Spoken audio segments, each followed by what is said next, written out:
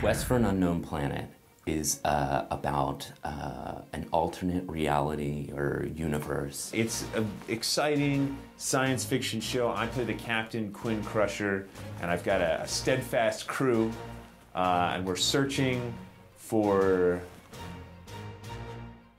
um, I guess, in a planet, right? That's in the title. We must be searching for a planet.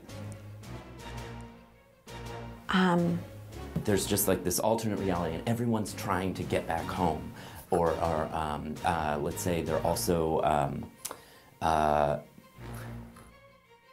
It's um, I read the pages that have my lines, and I don't end up getting to the other stuff. I'm a really slow reader.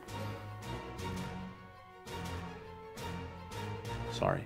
Really, what we have is on one side you have Jasmine, the feminine id, and you have Quinn, the masculine ego.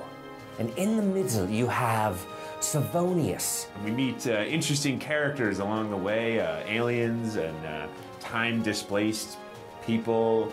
there are robots and Ewoks. And of course, old enemies and foes that have come to haunt us. Will he find redemption? Or the opposite of redemption? Uh, uh, indemption? Or predemption? Or, or uh, uh, ademption? Ademption. Oh, what I think it is?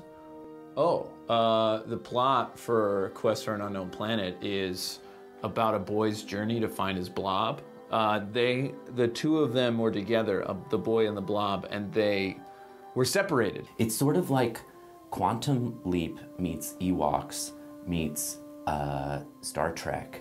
Um, if without like the the um, uh,